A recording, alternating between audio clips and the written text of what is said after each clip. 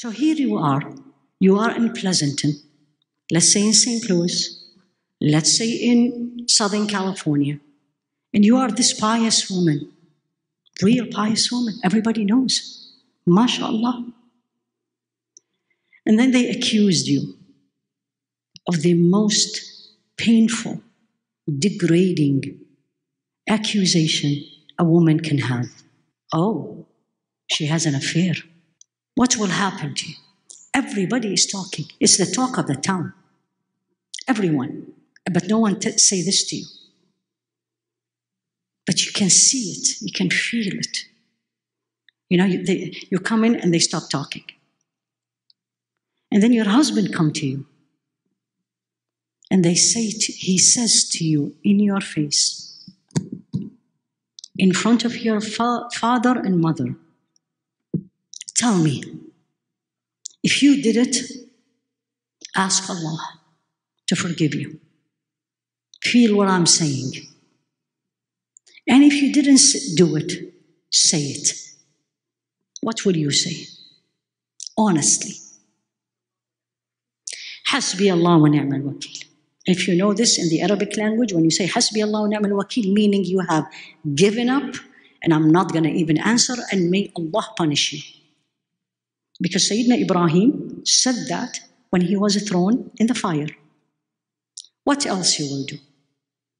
Anxiety, panic attack, you're to cry.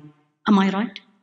Angry, how dare, what do you think of me? Look at yourself. Whose story was this? What did she answer? That's what I need to hear.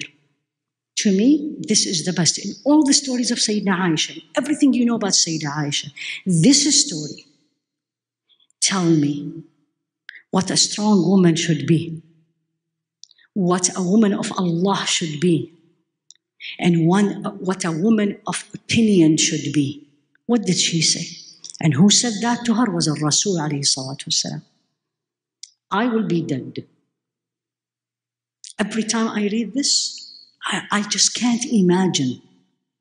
I'm a woman, you are a woman. You know how painful is this? Let alone you're innocent, let alone it's coming from your husband, let alone your husband is the best of the creation. Alayhi salatu wasalam. You want to be a woman of Allah? You want to be the best? What did she say? The meaning. لقد وقع في قلوبكم. She said this to her father, mother, and husband. الرسول عليه الصلاة والسلام. سيدنا أبو بكر, أم رومان. She said, it's already in your heart.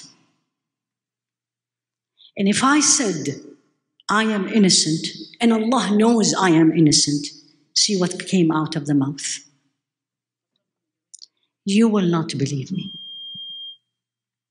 And if I say I did it and I didn't do it, you will believe me. And I'm not going to say a word other than what the father of Yaqub, she couldn't even, father of Yaqub, that's exact, she couldn't even remember his name, said. And she turned her back to Rasul alayhi salatu wasalam and to Sayyidina Abu Bakr, her father, and to Umm Roman, and said, فصبر جميل والله المستعان على ما تصفون beautiful patient and Allah will help me about what you are saying about me. And she turned her back. And then she said wallahi I never thought look at this. I never thought I am she worthy in the sight of Allah that He will send the Quran to be recited till the end of the time to tell me I am innocent. And then immediately that page of Surah An-Nur إن الذين جاءوا بالإفك عصبة منكم لا تحسبوه شرا لكم بل هو خير لكم لكل امرئ منهم ما اكتسب من الإثم والذي تولى كبره منهم له عذاب عظيم. And she said, I could see Rasul alayhi salatu wasalam, Quran is being revealed because he changed. And you know what happens to him when Quran was revealed. And then he starts smiling. And he looked at her and he said, Nazar, the meaning of your innocence came from, the, from Allah, from the heavens. So her father and her mother, Qumi, get up, go to Rasul. She said, No, I am only gonna thank the one who sent my innocence. It's Allah.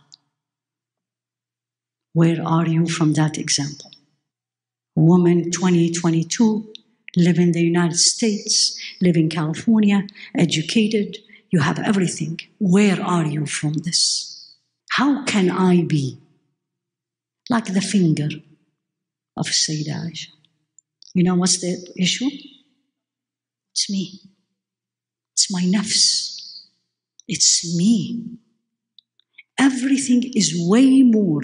I say this to me. I'm talking to me, not to you. Everything in this life is more important than Him. I think of everyone else first and then Him. I only think of Him when I need Him. تعرف إلى الله في الرخاء يعرفك في الشدة. Learn about Allah and turn to Allah at time of prosperity. He will know you at time of adversity. That's a Sayyidah Aisha.